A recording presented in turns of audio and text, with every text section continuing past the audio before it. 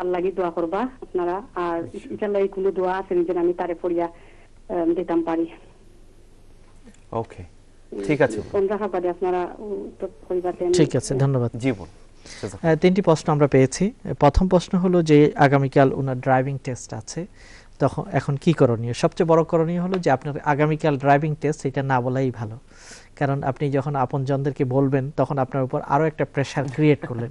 আপনি কেউ যেন না জানে আপনি ঘর থেকে বের হয়ে যাবেন পাস করে আসলে তাদেরকে সারপ্রাইজ করবেন। এটাই হচ্ছে ড্রাইভিং টেস্টের নিয়ম।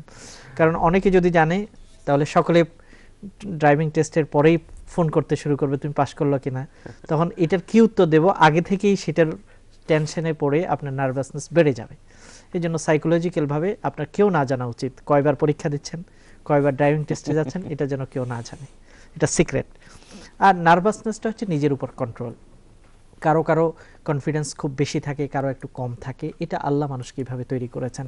সবচেয়ে যে ব্যাপারটা হবে, আপনি আপনার ড্রাইভিংটাকে একটা ফান হিসেবে গ্রহণ করলেন এবং মনে করবেন যে আমার পাশে কেউ নেই, আমি স্বাধীনভাবে চালাচ্ছি। এভাবে নিজেই মেন্টাল একটা প্র্যাকটিস এবং এক্সারসাইজ করবেন, তখন ইনশাআল্লাহ এটা সহজ হয়ে যাবে। তাছাড়া যেহেতু এটা এটা নিয়ে অনেকেই ওয়ারিড থাকেন তারা বের হওয়ার আগে দুই রাকাত নামাজ আদায় করলেন, আল্লাহর কাছে চাইলেন যে, আল্লাহ, হে আল্লাহ, তুমি ভালো জানো, আমার পাশ করাটা যদি এটা আমার জন্য মঙ্গলজনক হয়, তুমি আমাকে পাশ করিয়ে দাও। এভাবে আপনি দোয়া করে নেবেন। দ্বিতীয় প্রশ্ন হলো, ইস্তেখারা কি এবং কেন? এটা দীর্ঘ একটা ব্যাপার। ইস্তেখারা হলো আগামীতে একটি কোনো পদক্ষেপ নিতে যাওয়ার আগে আল্লাহর কাছে মঙ্গল কামনা করা। ইস্তেখারা শব্দের অর্থ হলো মঙ্গল কামনা করা। অর্থাৎ আমি যে কাজটি করতে যাচ্ছি, একটা বিজনেস করতে যাচ্ছি, অথবা কোনো জবে জব দিতে যাচ্ছি, অথবা কোনো একটা বিয়ে শাদির অ্যারেঞ্জমেন্ট করতে যাচ্ছি, এটা কি ভালো হবে? আল্লাহর কাছে চাওয়া। হে আল্লাহ, এটা যদি ভালো হয়, সেটা আমার জন্য সহজ করে দাও। আর যদি ভালো না হয়, আমি তো জানি না, তাহলে সেটা থেকে আমাকে ফিরিয়ে রাখো। যেটা মঙ্গলজনক, সেটা করার সুযোগ করে দাও। এস্তেখারা একটি দোয়া আছে, বিভিন্ন কিতাবে পাওয়া যায় ইন্টারনেটে আপনার পেয়ে যাবেন। আল্লাহ নবী এই দোয়াটিকে খুব গুরুত্বের সাথে তার সাহাবিদেরকে শিখাতেন। যেভাবে কোরআনের একটি সুরা সাহাবাদেরকে শিখাতেন, ওভাবে মুখে মুখে সেটা শিক্ষা দিতেন। ইস্তেখারা দোয়াটা মুখস্থ করে নেওয়ার চেষ্টা করা উচিত প্রত্যেকেরই এবং নিয়ম হলো দুই রাকাত নামাজ আদায় করে আল্লাহর দরবারে এই দোয়াটি পড়া। রাত্রেবেলায় ঘুমের আগেও পড়তে পারেন। যদি সময় না থাকে, কম সময় থাকে যে কোনো সময় দুই রাকাত পড়ে এই দোয়াটি আল্লাহর কাছে পড়াটাই ইস্তেখারা। তখন আল্লাহ তালা আপনার মনের ভিতরে একটা জিনিস হয়তো এনে দেবেন। অথবা যেটা আপনার জন্য কল্যাণজনক, সেদিকেই আপনাকে নিয়ে যাবেন। এটাই হলো ইস্তেখারার ফলাফল। যে কোনো বিষয়ে আপনি করতে পারেন। তবে যেই কোনো যেমন গুরুত্বপূর্ণ হজ আপনার উপর ফরজ, এটা নিয়ে কোনো ইস্তেখারা করার দরকার নেই। কারণ এটা তো মঙ্গলেই, এটা তো অমঙ্গল কিছু না। এবং ডিজেবল বাচ্চা যাদের পরিপূর্ণতা নেই, আল্লাহ তালা সেগুলোকে পরীক্ষার জন্য মানুষের জন্য তৈরি করেছেন। যারা ডিজেবল তারা নিজেদের জন্য পরীক্ষা, এবং যারা তাদের আত্মীয় স্বজন আছে, অভিভাবকরা আছে, তাদের জন্য একটা পরীক্ষা। এবং অন্যান্য সকলের জন্য যে আল্লাহ তো ইচ্ছা করলে আমাকে সেরকম করতে পারতেন, কিন্তু আমাকে পরিপূর্ণ করেছেন। এই জন্য আল্লাহর দরবারে এই পরীক্ষাতে পাশ করতে হবে সকলকে। আর আল্লাহর কাছে দোয়া করবেন সবরের মাধ্যমে এবং নামাজের মাধ্যমে। ইয়া ইসতাঈনু বিস-সাবরি ওয়াস-সালাহ। ধৈর্য ধারণ করা এবং সালাহ আদায়ের মাধ্যমে আল্লাহর কাছে সাহায্য চেতে হবে। আমরা পরবর্তী কলে যাচ্ছি। আসসালামু আলাইকুম। আসসালামু আলাইকুম। হাদিস সম্বন্ধে জানতে চাইছি। বলেন। আচ্ছা এক নম্বর হইল গিয়া যে মুসলিম শরীফর দুই হাজার তিনশো একত্রিশ নম্বর হাদিস। যে হজরত আনাস রাজিয়াল্লাহ বর্ণিত হয়েছে যে নবীগঞ্জ সাল্লাহ সাল্লাম মানে একটা সামরার মাঝে ঘুমাইছেন।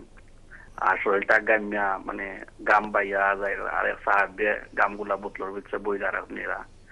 তখন নবীগঞ্জ সাল্লাহ সাল্লামে কইছেন, তুমি গুলা কিতা করায় বলে, আমি এগুলা নিয়ামত হিসাবে নিলাম তখন তানরে কইছেন, ঠিক আছে, এগুলা নেও তুমি। তাই না, আতর হিসাবে ব্যবহার করছেন।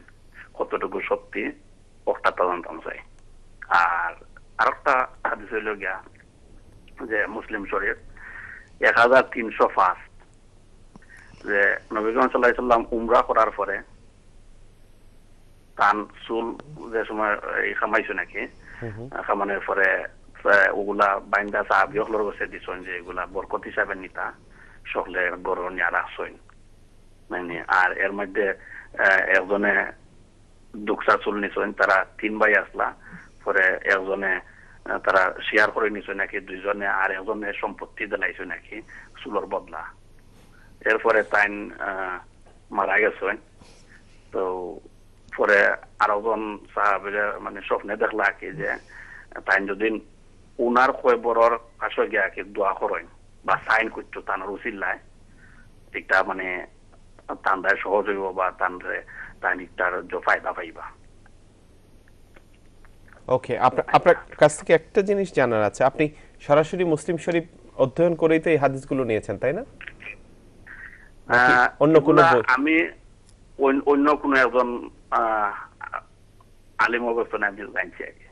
ঠিক আছে তো একটা আমি অবশ্য একটা ইন্টারনেট আমি চেক করছি যেটা আমি মানে কোনো লিঙ্ক পাইছি না বা কোনো মিল পাইছি না তার জন্য মাহমুদুল হাসান সাহেবের কাছে আমি জানতাম চাইলাম মানে আমি তার জাজাকুমুল্লাহ আমার মনে হয় শেখ আমাদেরকে বিরতি থেকে এসে উত্তর দিতে হবে। আচ্ছা হ্যাঁ, ঠিক আছে। তারপরে ইনশাল্লাহ তো এটা তো কঠিন প্রশ্ন।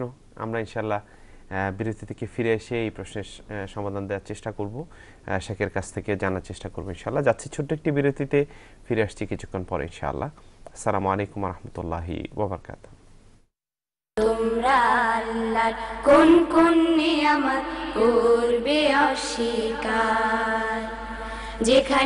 তাকাবে, দেখবে শুধু তার নিয়ামত। शम्ब